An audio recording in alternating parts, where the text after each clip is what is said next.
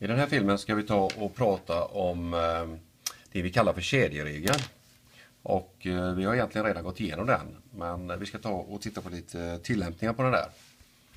Och det, det handlar om inre och yttre derivata. För vet vi, säg att vi har en funktion y är lika med f av z. Alltså en funktion av z, där z i sig är en funktion av x. Eh, då kan vi till exempel ta funktionen eh, y är lika med eh, sinus 5x. Det betyder ju att i detta fallet så skulle z vara den inre funktionen 5x och eh, den yttre funktionen skulle då vara eh, sinus z då. Om, om vi tittar på den här då. eh, då skulle vi ju, så istället för z så sätter vi in den här funktionen, den inre funktionen då. Alltså y i detta fallet blir då f av g av z. Eller g av x, förlåt. y är lika med f av, istället för z, där sätter vi in g av x.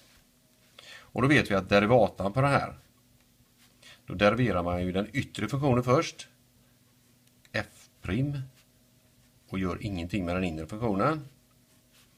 Och sen så tar vi derivatan av den inre funktionen, g'x. Här står ju f' Z här.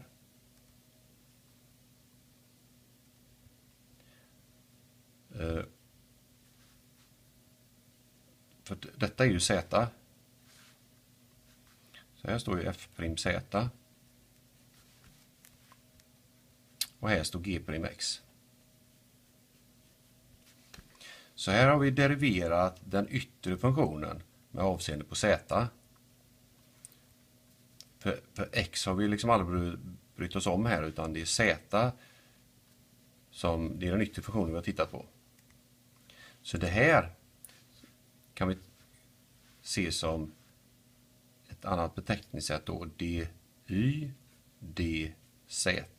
Alltså vi deriverar den här funktionen med z som variabel, eller den här funktionen då med z som variabel. Och detta är ju det, det andra beteckningssättet som vi har. Där har vi funktionen och där har vi variabeln. Det här kan vi se som z i g av x. Alltså deriverar vi den här funktionen med avseende där x är variabel så är det samma som dz dx. Och alltihopa det här mynnar ut i att vi deriverar den här funktionen med avseende på x till slut, alltså dy dx. Det här kallas för kedjeregeln och det är ju exakt samma sak som vi har jobbat med förut. Att vi deriverar funktionen och eh, deriverar funktionen först och sen tar vi igång inre derivatan. Eh, ska vi ta ett par exempel på det så klarnar det kanske ytterligare. Säg att vi har eh, y av x är sinus 5x. Det var det vi hade här uppe. Eh, det betyder ju att z, den inre funktionen, den heter ju 5x. Och den yttre funktionen y av z, det är ju sinus z.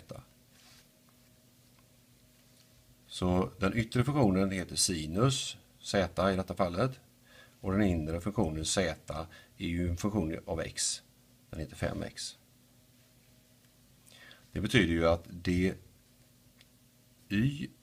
dx, alltså derivatan av den här, eller den här då, är då dy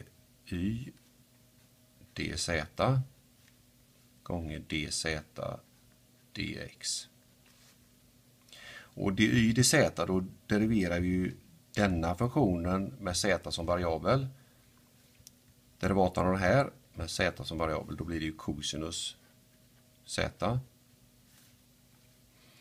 gånger den här funktionen z med x som variabel. Och deriverar vi denna med x som variabel så blir det ju 5.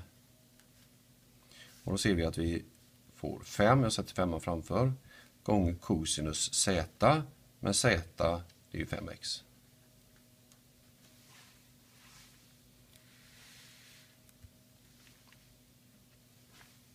Ett lite annorlunda sätt att tänka sig det här med inre och yttre derivata. Vi tar ett exempel till. Vi tar eh,